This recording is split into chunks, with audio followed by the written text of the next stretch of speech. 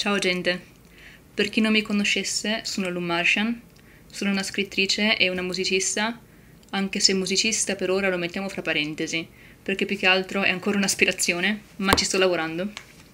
E oggi volevo condividere con voi un pochino dell'entusiasmo che ho avuto io nel tenere in mano la prima copia di prova del mio libro che sto autopubblicando su Amazon, stessa spiaggia, stesso mare.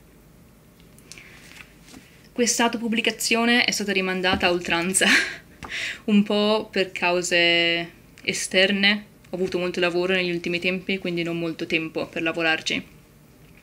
E un po' perché autopubblicarsi è un casino. Non credete a chi vi dice che autopubblicarsi è semplice perché non sanno cosa dicono e se lo sanno mentono, ve lo posso assicurare.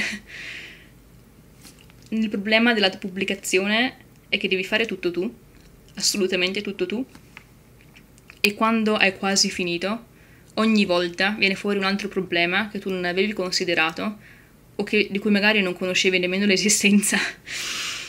Ma per fortuna in questi giorni sto compiendo gli ultimi passi per portare a termine la pubblicazione e uno di questi passi è ordinare le copie di prova e vedere come viene la stampa, che è molto importante. Nel caso ci fossero qualche, alcuni difetti che ci sono sempre garantito ma devo dire che questa copia qua è venuta benissimo, molto meglio di quanto mi aspettavo. Devo autocongratularmi un pochettino perché sono stata davvero brava per essere la prima volta che faccio una cosa del genere.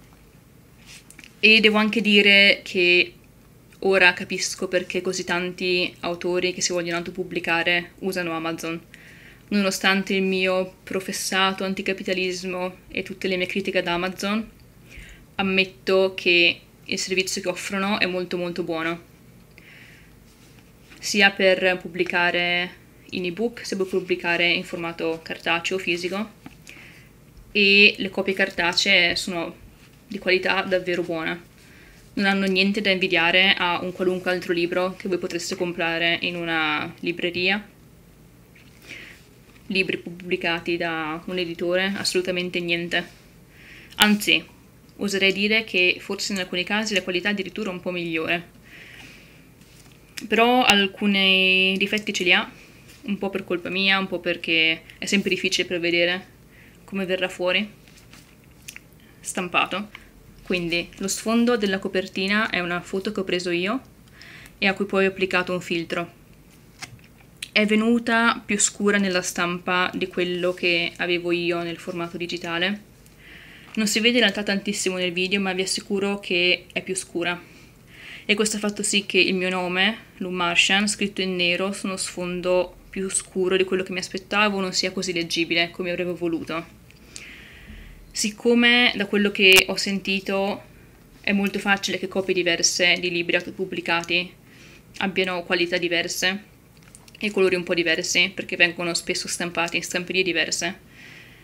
Non credo che oserò più di tanto cercare di cambiare lo sfondo, ma scriverò il mio nome in un colore chiaro, magari contornato da una linea nera, giusto per, per sicurezza, un contorno scuro. Il retro è venuto bene, però devo dire che il sommario l'ho scritto decisamente troppo grande. Ieri quando ho tirato il libro fuori dal pacco, prima ho visto il davanti, ho detto wow, mica male. Poi l'ho girato e ho detto wow, gigante. Ma vabbè, lo scriverò più piccolo. Questi riquadri, questo riquadro dietro e questo qua, volevano essere un azzurro chiaro, ma non ce l'hanno fatta. Più che altro è venuto fuori un grigino indefinito con aspirazioni azzurre di nuovo questo è dovuto all'alterazione dei colori della stampa. Io devo dire che avevo tenuto nel mio documento digitale, nell'immagine che ho mandato per la copertina, colori molto tenui perché temevo che nella stampa magari poi sarebbe venuta fuori una cosa fluo, inguardabile, un pugno in un occhio, con colori estremamente saturi e invece è successo il contrario, ovvero i colori sono molto meno saturi di quelli che avevo io ma vabbè, lo aggiusterò. In generale la copertina mi piace, è venuta bene, a parte questa cosa dei colori che vabbè è una piccolezza ed è facilmente aggiustabile. L'unica cosa è che ho scelto la copertina opaca non perché in realtà mi piacciono le copertine opache in particolare, anzi preferisco quelle lucide. Però quelle lucide, a seconda di come sono fatte, possono presentare dei problemi. Molte sono fatte ponendo un sottile strato di plastica sul, sul cartoncino, una pellicola, e naturalmente dopo un poco si spella, si sbuccia. Qua c'è una bolla, questo è il nome della rosa, bolla, spellature in fondo sul retro anche. Succede anche con libri nuovi, questo ce l'ho da un anno e è già un po' spellato. Ok che l'ho letto al mare, quindi è stato soggetto a delle intemperie, però lo stesso, dopo un anno già un pochino si spella, appena appena, però succede. Quindi credevo che la copertina opaca fosse un'opzione più sicura. Fra l'altro non so se notate, ma ho bellamente copiato lo stile di questa copertina per fare la mia, perché mi piaceva tantissimo questa. E non solo sono grata a questo libro per la copertina, per avermi dato l'ispirazione, ma anche perché è un libro bellissimo che vi consiglio. È Il giardino dei mostri di Lorenza Pieri. Non mi pagano, eh, vi assicuro. È un consiglio onesto, è davvero bellissimo in più mi ha aiutato a, a creare il mio.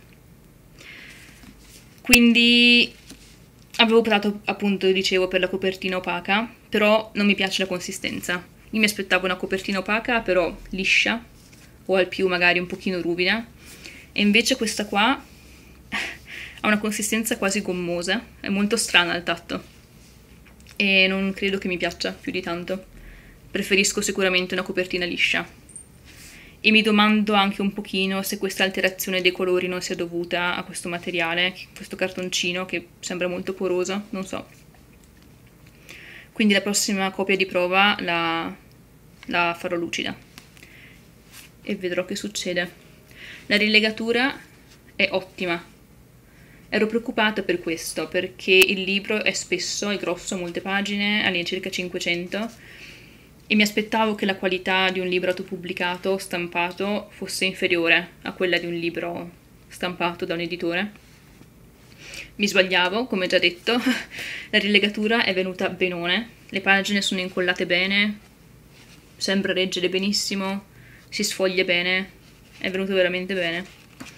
L'interno, il testo, è leggibilissimo, stampato molto nitido, molto leggibile, e questo in realtà non è soltanto merito mio, ma è stato un caso fortuito, perché io avevo usato un carattere diverso da questo. Avevo usato il Baskerville, e invece la stampa è venuta in Times New Roman. Perché sia successo? Non ne ho idea. Semplicemente quando ho caricato il mio documento su Amazon, poi l'ha reso in Times New Roman. È stata una fortuna perché il mio testo in Baskerville era molto meno leggibile e non solo, era anche più lungo, ovvero il Times di Roman è un pochino più compatto e si è mangiato via 100 pagine addirittura e siccome il costo del libro aumenta a seconda di quante pagine ha, è, è una gran cosa. Quindi sono molto felice che alla fine sia un Times New Roman. Non è che io non volessi usare il Times New Roman, che è lo stile più comune del mondo, perché abbia qualcosa di personale contro, contro il Times New Roman, ma perché avevo letto che di solito i romanzi non vengono scritti in Times New Roman, ma magari in Baskerville o Garamond. E volevo essere una scrittrice professionale, volevo avere un libro che risultasse professionale e quindi non volevo usare il Times New Roman solo per quello, ma devo dire che anche per un carattere così piccolo è molto meglio il Times New Roman è estremamente leggibile, non dà fastidio agli occhi anche se, anche se è minuto. Una cosa che è successa, errore mio da principiante, è che la sillabazione a fine riga è sparita. Nel mio documento avevo messo la sillabazione automatica, ovvero la parola a fine riga, se possibile, veniva spezzata col trattino classico. questo è scomparso, ma è perché quasi sicuramente ho caricato il file docx invece che un pdf. Vabbè, prossima volta caricherò il pdf. Ma a parte queste poche cose, è venuta veramente veramente bene. Ieri sera, quando è arrivata, sono rimasta in adorazione per un paio di ore, così, ad ammirarla. Applicherò le modifiche necessarie già oggi e ordinerò la nuova copia di prova già oggi e vi farò sapere che succede, come va. Se volete supportarmi in questa impresa, vi ricordo che un like, un follower in più una condivisione aiutano moltissimo.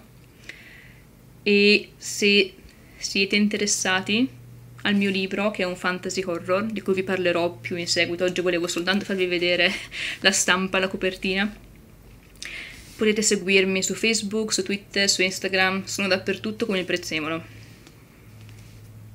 Per oggi grazie per aver guardato il mio video e vi saluto. Ciao ciao!